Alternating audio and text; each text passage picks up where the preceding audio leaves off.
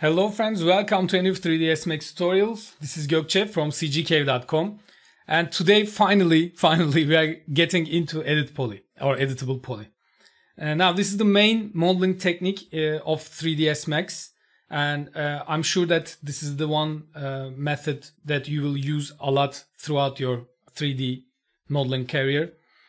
So let's start with creating an object. What Edit Poly does is uh, it, it, allows you to bend the object with uh, sub-object modes. In a minute, we are going to see all the sub-object modes, but uh, let's say we create a box. Let me show you what uh, this is useful for first.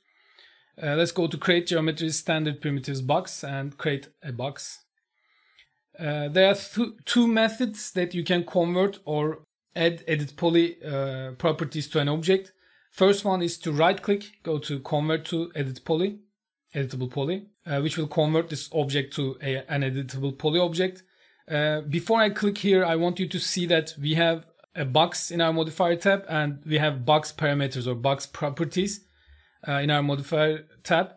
But if I convert this to an edit poly, you will see that uh, the box object and the box properties are gone and now we have uh, edit poly properties, which we have more control over the object uh, than a box because uh, a box object wants to keep its shape. So uh, its parameters is connected to box width, height, segments like things.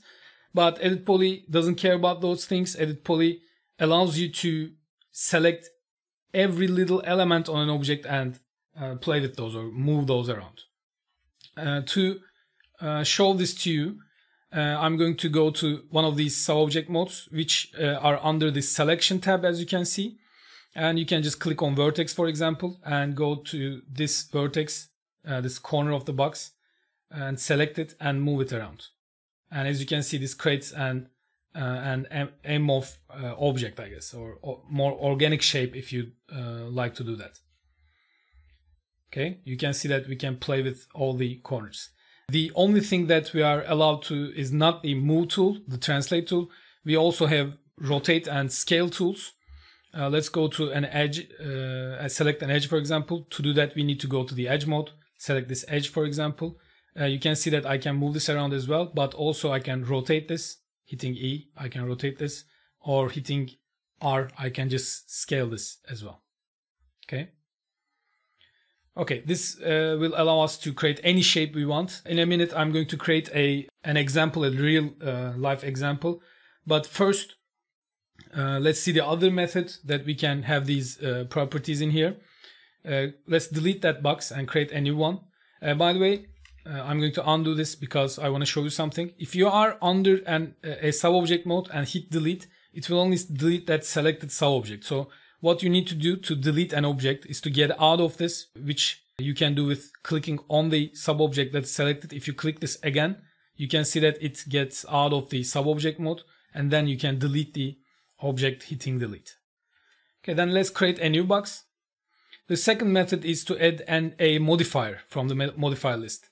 You can just click here, uh, hit ED to go uh, to edit stuff and you can see edit poly in here. And if I click on this, you can see that we can keep the box and also have the edit poly uh, properties features.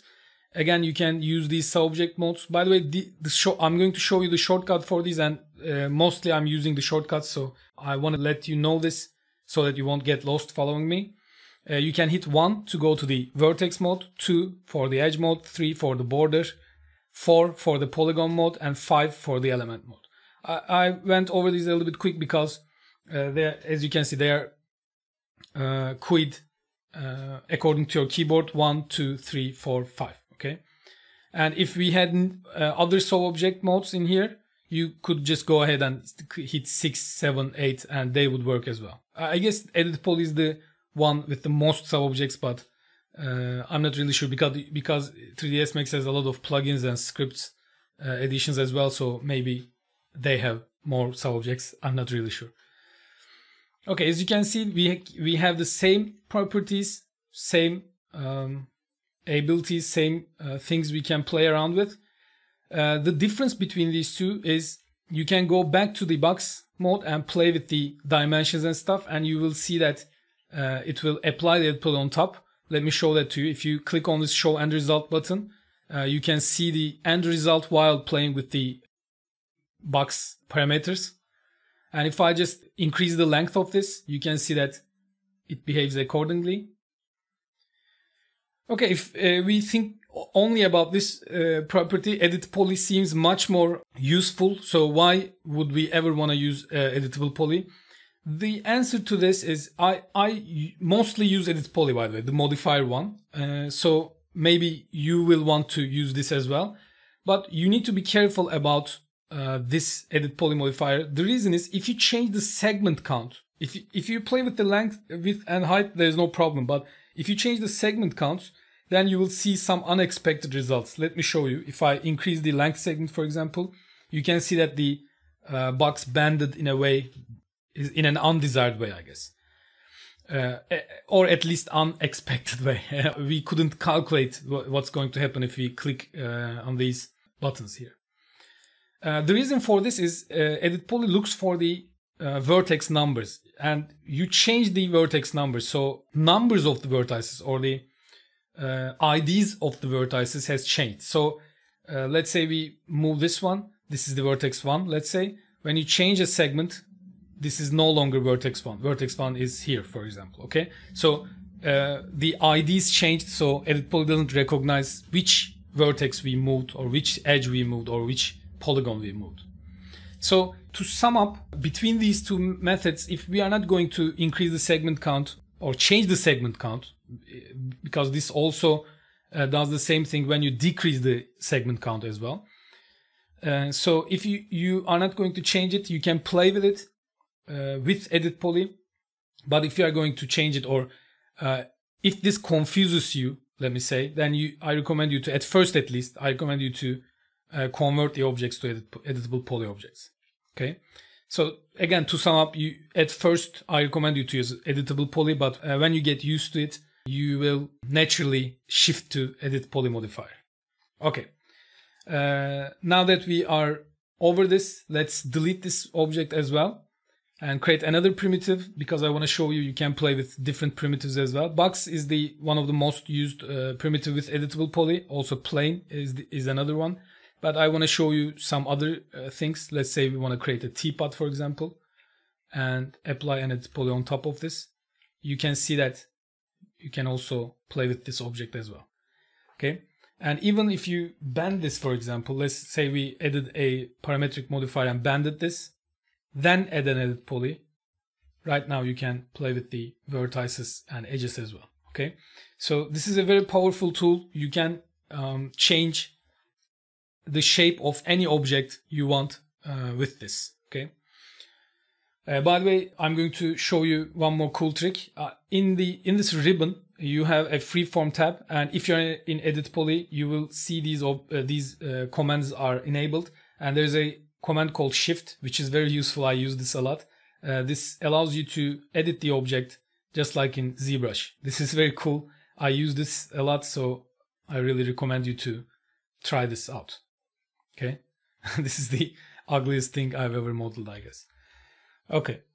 Now, one more thing I want to show you is the, I want to go through these sub-object modes. There are a couple sub-objects. Let's go with a cylinder this time. You, you can see that it will work in this one as well. A any object you create is actually, uh, it will work, work on those. So let's add an edit poly modifier.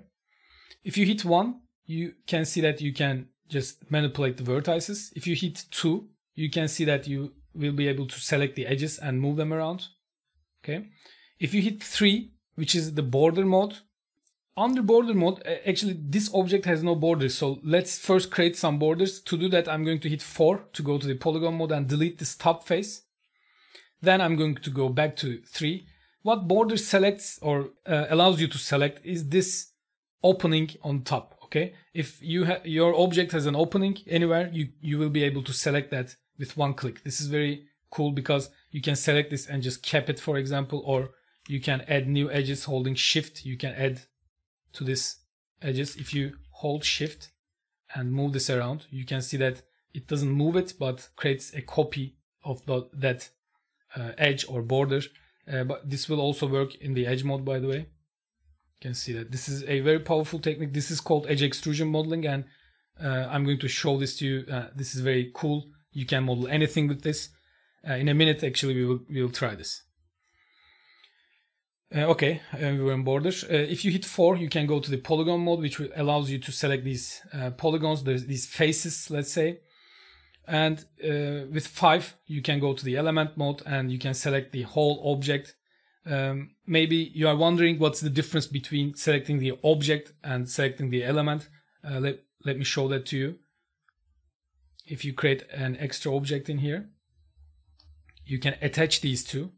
Uh, I'm going to get into this in a uh, later lesson, but for now you can just go to the edit poly, click attach and hit the unattached object and these two objects will become one object as you can see. Its name is cylinder, but we can rename it edit poly, whatever and, and now what you can you will see is you can just uh, hit 5 and this is a separate element and this is a separate element uh, so what defines an element is uh, if you don't have any vertices welded to each other between these two objects that they become separate elements i'm going to show you how to weld objects together uh, these are future uh, things we need to worry about but you uh, just know that if they are not touching or welded uh, each other. Uh, touching is not the right word because you can just put this in it and again these are two separate elements. You need to weld a vertex. They need to have a common vertex, uh, I guess, at least one common vertex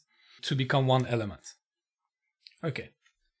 Right now we are over the sub-object modes as well. And lastly, let's create a real life object. What I thought of was a spoon. It's easy to model uh, and it's also organic. It's also an organic shape.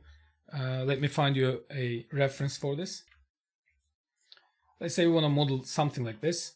Uh, as you can see, it's quite organic and also very simple shape. Uh, I'm I want to show you how we can create something like this. Okay, uh, I'm not going to take this as a hard reference. I just wanted to show you uh, my aim as I start the modeling, so you can see this in that perspective, I guess. I'm going to create a plane. Uh, plane, as I told you, uh, is one of the most used base uh, models uh, for an edit poly object because it just starts with one face uh, if you choose to. Originally, a plane comes with a 4 by 4 segments. I want you to decrease these to 1 by 1 so that we only have a face. so it's less complicated, I guess. And I want to move this to the origin. Now I want to add an edit poly on top. Now you'll see that if I hit 2, I can just select these edges, right? And if I just hit R for scale, I'm going to just scale this up a little bit, move this in. And if I hold shift and drag this, you can see that we have a new face. And again, hold shift and drag, scale this down and hold shift and drag, drag. And you can see that right away we have a spoon-like base uh, object and this is another thing I want to make clear, uh, which is try to go to the simplest shapes. Uh, it's just like drawing. Uh, actually, in a magazine, 3D World magazine, actually, it's the uh, one of the uh, highest uh, rated 3D modeling or visual, visualization magazines out there. I really recommend you to check that out. 3D World. in there, I read something um, that says if you want to improve your modeling, try drawing because this is just like drawing. In drawing as well, you need to create reference geometrical shapes uh, to be able to define the general shape of the object. Then you go in and add details. Then you go in and add shading and stuff. Uh, so try to think of this as drawing. So this is our basic shape. Okay. Maybe uh, at this stage you want this uh, basic shape to match the reference as much as uh, you can. So uh, I want to make this part thinner, for example, I'm going to hit 4 to go to the polygon mode, select these two faces, hit R for scale and just scale this down a little bit more. And at the bottom in here, I want this to scale up a little bit, right? And then I want to match this a little bit more to my reference. Okay. And now I'm going to add some details. Uh, by details, I mean I'm going to add, add a new edge in here and just make this a little bit more round, for example. To do that, I'm going to hit 2, select this edge in here, uh, get rid of the confusion, I want to get rid of these selection brackets in here. It was J before, but it's not J uh, anymore. So I'm going to go to edit faces per view preferences and click on the selection brackets and hit OK. Okay, now we can uh, see a little bit more clearly, I guess. So I'm going to hit 2 to go to the edge mode, select any of these edges. I'm going to hit ring, which will select the parallel edges, and hit connect to add a new edge in here. There are, of course, easier ways to do this, but uh, for now, this is a very basic uh, method. It has uh, advantages, so I wanna, I want you to get used to this, using this. I'm going to show you some shortcuts for this, and you will see uh, it's not that uh, hard to use. And I'm going to hit this OK button, and then I'm going to scale this up a little bit. And you can right away see that we have a smoother edge in here. You, of course, you can add more edges like this and scale this up as well. But the problem with this is we need more control. So as you add more edges, we lose control over the model. So I don't recommend you to uh, do this. Uh, what I'm going to do to delete this uh, is I'm going to hit control backspace. We'll talk about this, but you can delete edges with this shortcut. Uh, but this roundness is enough for me because I'm going to add a smooth modifier or turbo smooth modifier on top and you will see that it will uh, automatically make this edge uh, rounder or perfectly uh, smooth. Okay, let's add some more detail. I'm going to select this edge now and hit ring and you can see that it selected all the uh, parallel edges and hit connect again. This time I'm going to increase the segments. I'm going to add three segments. Then I'm going to just hit 4, select these polygons and pull them down a little bit. And you can see that we have a spoon-like um, shape in here. Let's hit T to go to the top view. And I'm going to just move these vertices up a little bit. This one as well. And you can see that on the edges we have these smoothness as well. Okay. Uh, maybe you want to add, uh, select this edge ring and add a new edge to this side and scale this up to make it a little bit more round. But whatever, uh, this is just the beginning, so don't worry about these things that much. But let's do this for this edge as well. Don't be a perfectionist if you are a 3D modeler, but I'm a little bit of a perfectionist, so whatever. Uh, hit 1, select these vertices and move them up so that we have this curve on the uh, spoon. Maybe add, an, add uh, a new edge in here and a new one here as well. Then I'm going to just select these two vertices and move them up as well. And you can see that I can bend or just move and do anything and it started to look like a spoon. Maybe you uh, this uh, portion is a little bit too big. Then you can just select all these vertices and scale them down. You can see that it's very advantageous. You can uh, do all kinds of crazy stuff with this. Okay. Then I'm going to add a smooth modifier on top of this, which will smooth out these faces in here. I'm going to click auto smooth and you can see that we have a smoothed face in here. Uh, you can also add turbo smooth, but it's a little bit early for this. I'm going to show you how to work with turbo smooth a little bit uh, more or in depth so that you have more control over it. But for now, let's just use, actually it worked for this example. So let's leave turbo smooth on uh, but it's a little bit complicated because you have some uh, smoothings over here as well. Maybe you don't want this. It fitted this uh, model, but maybe it wouldn't. So you need to have more control over this. But for now, let's use it, uh, whatever. You can increase the iterations from here, by the way, to make it even smoother. And you can see that uh, it's just like we have a rounded edge in here. So it doesn't really show uh, on the render or viewport as well. Okay, so let's give this a thickness, which uh, which we will do with shell modifier. Let's increase the thickness a little bit. Uh, right now we don't we didn't use any dimensions or whatever, but it's a little bit big, but whatever.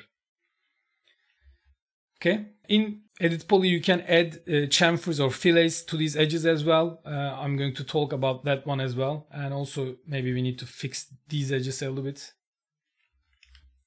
To do that I'm going to T. On these round corners we use a different method actually. So uh, it looks a little bit weird when you smooth it.